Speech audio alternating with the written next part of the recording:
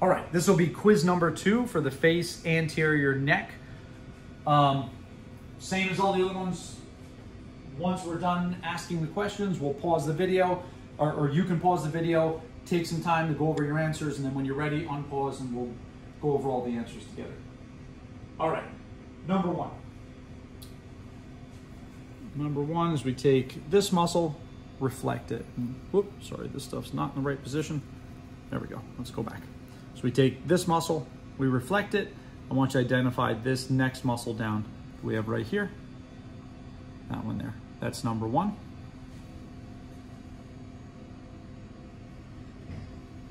Number two is gonna have two parts. So we start at the tip of the chin and we go down, we run into one, two, three things. 2A is I want you to identify what this whole second structure is. That's 2A, this whole thing that I'm moving right there, right? 2B is specifically identify what this feature is. And that is a part of that larger piece there. So 2A is the whole thing, 2B is just that part there. Number three is here. We want to identify what is this structure right here. That thing that I'm moving right there. That's number three.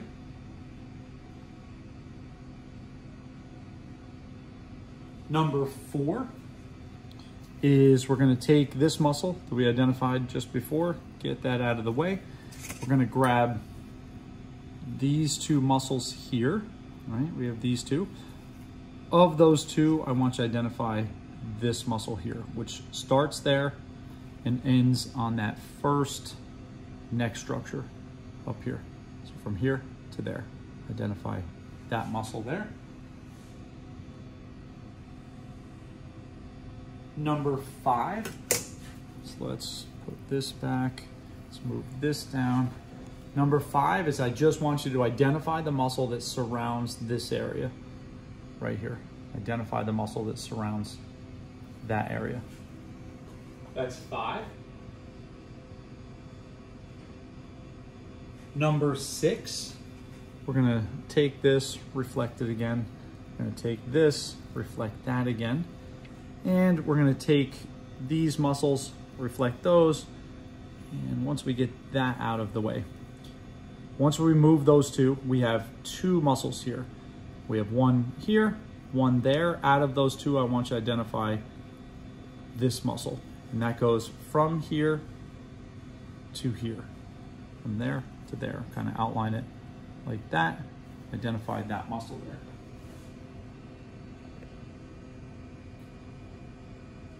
Number seven. Let's put this back in place. Let's move this down. Let's get this back over here. And we are going to highlight this guy right here. All right, so you see if I get under both these, so we got these two muscles here, they're related to each other. Out of those two, I want you to identify this one right here. That was number seven. Number eight. So let's move this out of the way. Let's flip this up here. And we're gonna go to this V-shaped muscle that we have right here, okay? And if we follow the anterior portion of that muscle there, I want you to identify the muscle that we can see right here, right? Which passes under this, right? So identify this muscle that we can see right there, and that one passes underneath of that muscle there, this guy. That's number eight. Number nine, let's go to the other side for a second. And put this back in place. All right, so let's take this muscle here. Kind of spread this guy out on this side.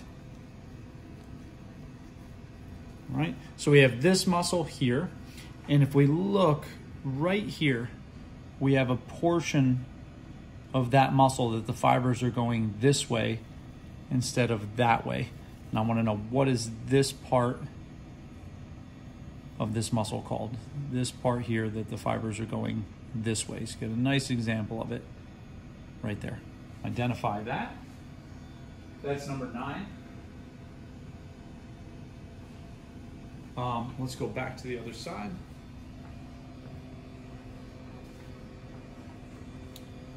Number 10. So let's take this, let's reflect it like this, and let's put this back down. All right, so we have this whole structure right here, then we have this one here. These two things are related. And then there is one more of these that we cannot see that is located inside the mouth. And I want to know what is that last one of these that we would find inside the mouth called.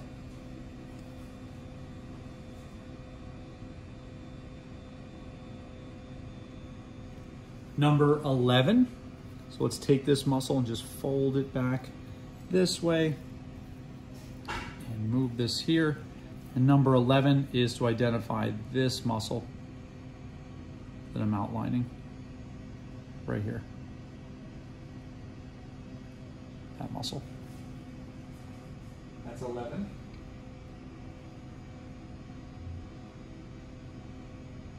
All right, for number 12, if you follow number three, which was here, so we get this up out of the way. Number three was to identify this, this structure here. If we follow number three to its duct, I want you to tell me what other number that you identified in this quiz does that duct pass deep to, or does it pass underneath? All right, so I want you to follow number three to its duct and tell me what other number on this quiz does that duct pass deep to? That's 12. And then for 13, if we go back to number 2B, 2B, which was this particular feature right here, I want you to tell me what attaches to the underside of this feature. So what attaches to the inside of that feature right here? That would be number 13. Okay, that's all the questions. So pause if you need more time. When you're ready, unpause and we'll go over the answers. All right. So let's go through the answers. First one, come down here, we take platysma, we reflect platysma, and we uncover sternocleidomastoid. That was number one. Number two had two parts, 2A, 2B, and it was in here, and we kind of start from the tip of the chin, we come down, we run into three structures here. We wanted the second one, which again is what I'm kind of moving right there. That's the thyroid cartilage. That was 2A. 2B was what is this particular feature called, and that is the laryngeal prominence or the Adam's apple. Number three was to identify this structure that we're moving here, and that is the submandibular gland. That was number three. Number four was take sternocleidomastoid, reflect it. We have these two muscles here, which is going to be omohyoid, and then the one we asked about here, which is sternohyoid. Number five was put platysma back down. We want to know what muscle surrounds this area here, and that's going to be orbicularis oris. number six was, let's move platysma. We already have sternocleidomastoid out of the way. We're now gonna reflect omohyoid and sternohyoid. Get those out of the way. And then we uncovered these two muscles and we wanted to identify this one here, which is gonna be thyrohyoid. Thyrohyoid. Then number seven Let's move platysma. Actually, let's put these guys back here. Let's put platysma back down. We come up over here. We kind of highlighted these two muscles. We said they were related. Of those two, we want to identify this one here, and that is going to be Zygomaticus minor.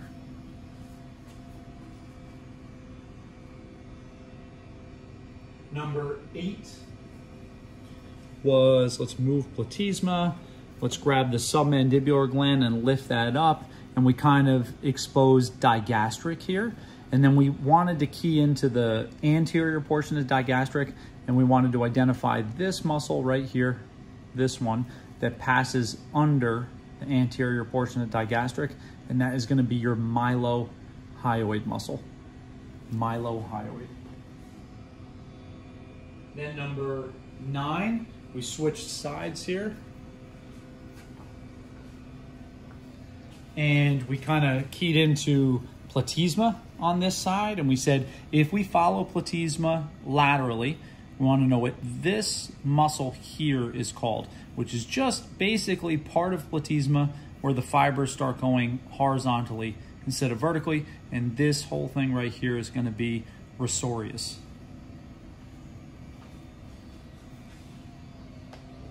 Number 10 was we kind of keyed into these two things here, which are two of your salivary glands. So we got parotid gland here, submandibular. So I kind of pointed to those two and I said, I want to know what the third one is that's located inside your mouth. And that would be the sublingual gland.